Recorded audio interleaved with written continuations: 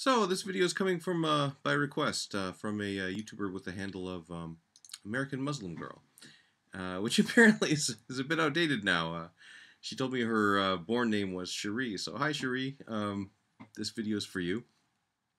Um, as usual, it, it comes with the usual, you know, Randy Helzerman disclaimers in terms of um, these sorts of discussions. Um, you know, you asked me to uh, give a critique of your argument for the existence of God or why you believe in the existence of God right now. See if I can poke holes in it, stuff like this. Um, you know, I, I, really have absolutely no um, desire to to uh, persuade anybody not to believe in God. Um, you know, the, you know that's just not my thing, right? Um, and I hope if you do believe in God, um, anybody who's listening to this um, and listen to what I'm about to say that that it doesn't cause you to stop believing in God. Um, so, um, having said that, um, you know, you did request that I like uh, poke holes in your argument here. So, um, let me first briefly rehearse your argument um, to see if I have understood it correctly. And if I haven't understood it correctly, uh, please uh, post another video or something like that uh, to uh, to uh, correct me on this. Um, so apparently, it, it, kind of goes like this. So um, everything comes from something, right? So so basically, uh, either the universe is eternal or something else that is eternal has to have caused the universe to come into being. And you don't think the universe could be that eternal thing because it's always changing. Um, and uh, so it, there has to be some eternal thing which is um, which is um, you know there that, that doesn't change in order to cause this universe that we see that is full of change. Um, I think that's the general gist of it. Again, please uh, um, correct me if I'm if I'm wrong. Um, now, let me tell you why why this isn't persuasive to me. And again, like you said, I, I, may be right, I may be wrong, but, but here's here's why it's not persuasive to me. Let, us do a, a, kind of a thought experiment here. Um, you know, is the universe really changing uh, all the time? You know, we our perspective is so limited, right? I mean, we are here in, in time and space, and we're talking about something which is outside of time and space. Um, let's do a thought experiment. Okay, so this is kind of like Plato's allegory of the cave, but it's it's uh, Randy Helzerman's allegory of the movie theater, right? Suppose somebody was they'd lived their entire life strapped into a, a movie theater chair, right? And they'd been seeing the same movie their entire life, and the movie's just going on and on and on. They're looking at the screen, so they may actually think that that movie is actually changing, right? They're they're they're watching the change right there on the screen um, and they may actually start believing in cause and effect, right? Somebody, um, you know, pulls a trigger on the on on the screen, and then one of the other characters falls dead, and they might reach the conclusion, well, I mean, the, the gun has caused the death of this person, right? They they're seeing all this change, and um, they're saying, well, yeah, there's obviously cause and effect. There's obviously lots of change and everything, right? But but is like really what's is is there really cause and effect there? Is there really change? Is in fact is it really even going on what's there or is it just special effects right? So suppose you know one day the person's maybe 27 years old or something right? And and and um, the the movie attendants finally come in unstrap the guy from the chair and say listen let me show you what you've been watching your whole life right? And he, he brings him up to the, to the projector room and there's this huge canister of film right? And he's saying you've been seeing all this change, but this it's not really change. This this film is is just what it is. What, what we've been doing is we've shown you frame after frame after frame. Uh, but the, the movies, it looks like it's changing, but it's not really changing. Um, and you can imagine God creating the universe like that, right? What if God doesn't really use cause and effect uh, in his design of the universe, right? What if we're just merely presented with a frame after frame after frame of what's going on? You know, like right here, I'm this, this is one one of the frames. I'm I'm happen to be here looking at this, uh, you know, camera and making this this YouTube video. But what I'm doing in this frame doesn't really cause the next frame. It's just that's how the story's written. That's just you know the way the way God did it, right? So I mean, it, it looks like the universe is changing, but it, it might just be our perspective on on the universe that's changing, right? So, or like my my my bookshelf behind me here. I mean, you can imagine like just being able to see one of the books at a time, and as you're you're going past it, you might see the book that you're looking at is changing, but the the whole bookshelf itself really isn't changing. You know, it's just your perspective on it that's changing, or just the illusion of change, right? So basically, what I'm trying to say is, you know, we, we have our perspectives are so limited. We're inside of this time and space, right? Everything that we see is made of something. Everything that we see is is happening in time and space. And yet we're trying to go from that, from our experience of time and space and the intuitions that we have about what's happening in time and space, and try to project that into something which is not in time and space. Uh, something which is, we're, we're looking at something that's changing all the time and, and trying to figure out about something that doesn't change at all. Or we're looking at something that happens in time and space and, and we're trying to figure out about something which doesn't happen in time and space. Um, I think most of the major religious traditions really agree that this is a problem um, implicitly. I mean, they, they, they like to offer proofs of God that are that are there, but I mean, implicitly they admit this is a problem because you know why else would there be prophets, right? If we could just figure this out just by sitting and thinking about it, um, we wouldn't need prophets. I mean, though the whole point of prophets is to give us the stuff that we couldn't really think about. You know, you know, so the prophets would have to come and tell us what is beyond time and space. Otherwise, we really wouldn't have any way of, of, of knowing this, right? So, um, whether there is cause and effect, whether there is something that needs to, to cause something else, um, you know, maybe, maybe not, right? I can imagine circumstances which, um, you know, that like for example, the, the, whole universe is just this this movie that's playing, and it's not really cause and effect. I mean, we're just seeing one snapshot of it at a time, snapshot after snapshot. I couldn't tell the difference between that and the universe, which actually is cause, governed by cause and effect, right? So, I'm really, I'm really skeptical. I mean, it's it's really, um, it, it, it you know, any observation that we make in using time and space, any intuitions that we have about time and space, trying to go from that to something which is has absolutely no um, relevance to um, whatever experience that we've had is, is, is really hard for me to to do that. It's really hard for me to to take any conclusions I draw from that with any degree of certainty at all. And then, like I, like I said again, okay, um, that's why it's not persuasive to me. It may be persuasive to somebody else, or may may somebody else may feel it. And and if if you do believe in God, I certainly hope that that uh, didn't uh, dissuade you from believing in God whatsoever. Okay, let's see what else is is on the plate here. Um,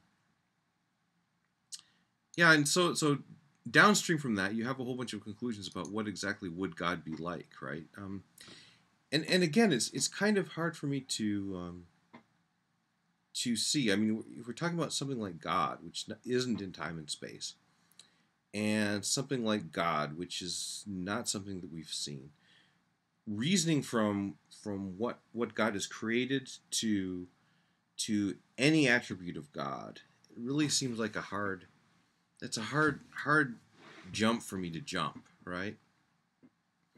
I mean, if we look at like say uh, uh, one of the metaphors that that that has been used when I've been talking to uh, to Muslims and Christians about this is that like you know you see a house you obviously know there was a builder of that house that built that house right? And then you can go on and say certain things about this house. So yeah I mean if somebody looked at my house um, you know they say yeah it's probably built by somebody and uh, and um, you know whoever that person was we can make some certain assumptions about them. They're not 20 feet tall for example because the, the ceilings are only 8 feet tall uh, the doors, you know, they're, they're not 50 feet wide because the doors are, are only three and a half feet wide, things like that, right? Uh, but that's only because that human being is living in that house, right? God doesn't live in the universe like like um, like we live in our houses, right? God is completely a different thing from the universe. Um, otherwise, God couldn't have been the creator of the universe, right? So, um, if we're talking about you know, suppose I, I created a house for for something or some sort of dwelling for something which which absolutely I wasn't going to live in was a different kind of creature altogether, maybe a sea creature or something like this, right?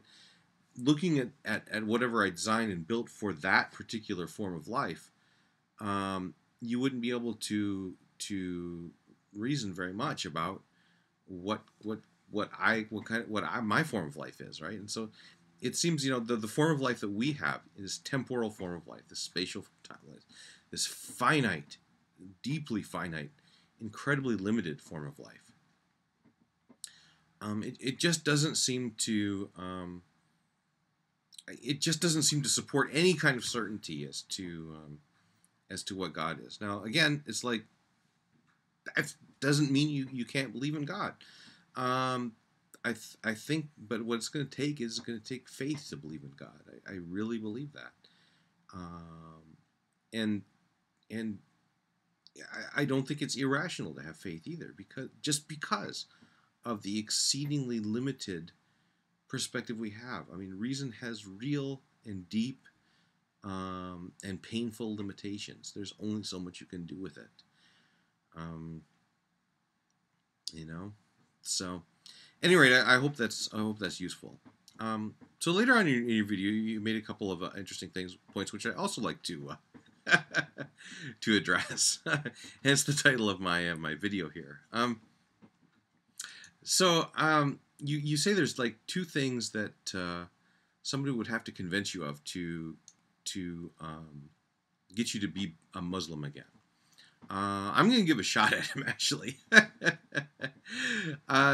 uh, I, I don't know uh, if you've gotten any satisfactory answers or not from that, and I don't know if um, uh, how well the Muslims have, have been able to do on that. But I, am going to give it my best shot here, just because, um, you know, you, you seem to enjoy being a Muslim, and um, um, may, maybe maybe I can help you out here.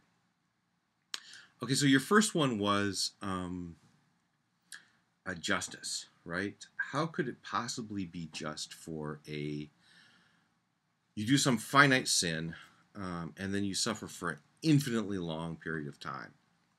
Um, you know, honestly, this is a hard sell for me too. I mean, I, I really can't. Um, it's really hard for me to stretch my mind that far. Okay, but let me give you the best answer to that I've I've actually heard. Um, so think about if you're if you're designing a system of justice for a minute, right? There's two dimensions, it seems to me, along which if you vary something, you might get a harsher sentence. Okay, what am I talking about here? So, so for example, um, if you do a, a, more violent act towards something, say you you slap something, that might get some, um, you know, that, that that might get get some merit some ju- some judgment, some some punishment. If you kill some something, it might merit another punishment. Okay, so that's one that's one dimension, right? So say say you have somebody's dog. It's there, right? If you slap their dog, that may merit one punishment, right? You may get a fine or something. If you kill their dog, that may merit a, a harsher punishment, right? Uh, so that's one that's one one one um, axis dimension along. Another axis that seems to me that this could could vary along would be the um, the, the form of being that you've actually offended, right? So, for example, if you've offended a, if you um, slap somebody's dog, that might be one punishment. You slap somebody's child or slap somebody's wife, that might be a, a different punishment, right? Um, so, or if you you you um, kill somebody's dog, that that may have certain implications. You may get some sort of punishment for that. But if you kill somebody's child, that that might justify a, a, more harsh punishment, right?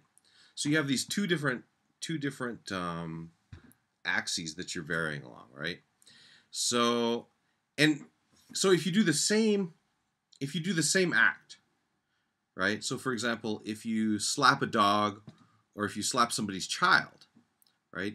It may justify a harsher punishment if you slap somebody's child than if you slap somebody's dog, just because the child is, is a higher form of life, a higher form of being, right?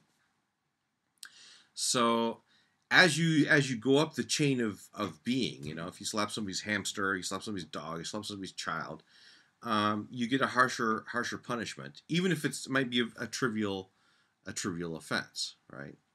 So if you take this to its logical illogical extreme, right? You know, the the highest form of life. What is the highest form of of being that you can possibly imagine? That would be God, right? So, um, you can't really slap God, right? But you, you can do things like you know associate a, a, a companion with him or something like this, right? So it might be that even the tri- most trivial um, uh, punishment, right, or tr- most trivially just thing that you do to to against God might justice might require a, an infinitely big sacrifice, just because God is this infinitely big infinitely huge form of being, right? So, um, you know, God is infinite, God is eternal, God is like the, the, the most exalted form of being. So, any any thing that you do against this God, no matter how trivial it is, um, requires an infinite, infinite uh, um, amount of punishment. Just because just because of this this uh, this principle of justice that you know if you slap a dog it's one punishment. If you slap a child it's another punishment. If you kill a, a dog it's one punishment. If you kill a child it's it's a different punishment. See what i'm saying um, so you know if, if if if you insult somebody's dog if you insult somebody's child or if you insult god right each one of those as you go up the being you get higher and higher um, punishments so you might actually um, you might actually be able to make something like that work. Um, that's the best I can do. I, I wouldn't be uh, I wouldn't be surprised if you don't find that convincing, but it's it's the best I can do. Okay, so the second one is free will. Um, yeah, you mentioned in, another comment that you actually were uh, you were um, going to watch my series on free will, which is kind of cool. Um, kind of flattering to uh, think that people are, are, are recommending that uh, series um, still. Um, and you know, you might be able to do me a favor there actually as you're watching that that video. Um, you know, if something doesn't make sense or if I could do a better job, I've been, been toying around with the idea of redoing that series, um, just because it was kind of like um, you're only seeing one side of the conversation. It was with a, another fellow who was on here a while back called Everett's Vlog, and all of his videos are gone now. So it's it's kind of a one-sided conversation. So so I don't know how, if if you haven't seen all of the other videos that were going on in there, I don't know how much sense it makes. So some feedback on that would be cool. But what I'd like to say is, is like, um,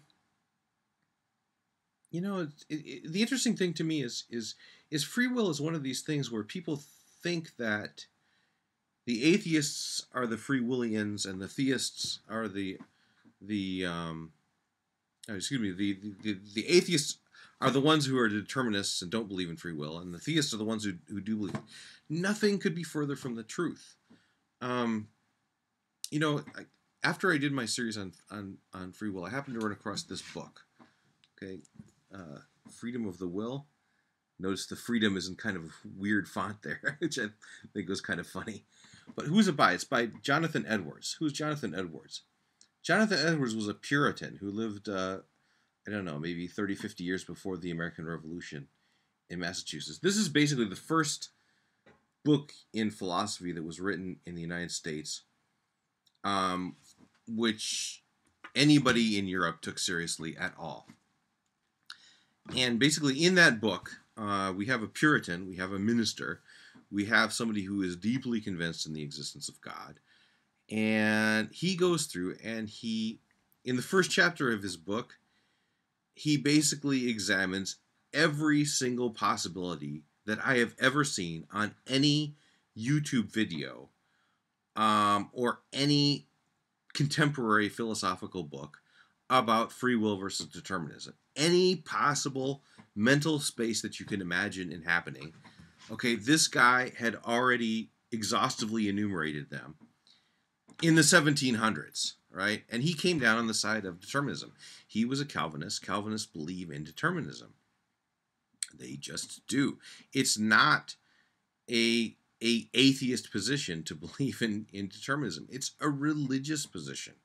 Now he was arguing against people like Bishop Laud back in England, um, who were called Arminians, who believe in free will.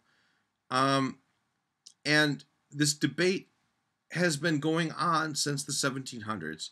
But the interesting thing about it is, it's it's you, the religion is kind of has has receded there. So if you talk about someone like Dennett or something like that, I'm here to tell you, okay, everything Dennett has written about free will is already found in this book. Okay, it, it's it's he is in the exactly the same mental space as what the Puritans, as what the Calvinists, and, and, every single atheist that believes in free will, they are in the same mental space as these Calvinist Puritans were in terms of determinism. Okay, it's that's just the position.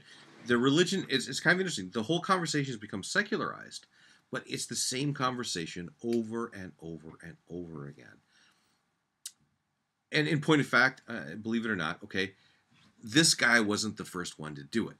Um, in point of fact, this whole free will versus determinism debate wasn't invented by uh, Western philosophers at all. This was invented by Muslim philosophers because there are very ambiguous statements in the Quran about this, right? Um, you know, the, the, the first surah there, you look in there, it says, you know, you're not going to understand this book if if Allah doesn't open your eyes. If you know the people who don't believe this, the reason they don't believe it is because Allah has just closed their eyes. He's determined determined that they aren't going to get it right? And the ones that Allah determines that they are going to get it, they are going to get it. I mean, it's it's right there. So this was a highly disturbing thing to a lot of philosophers as they're they're sitting trying to puzzle out this. So so these two poles went. Well, this we have free will and we have determinism.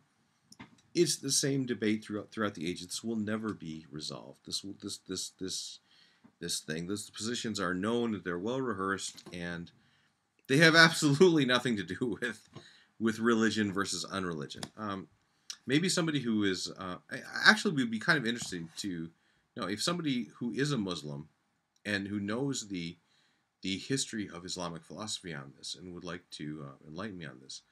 Um, be very interested to talk with somebody who is knowledgeable about these things. So, any rate, I certainly hope this this has been a really long video. I certainly hope that it's uh, that's helped you out here. I better wrap it up here before everybody falls asleep.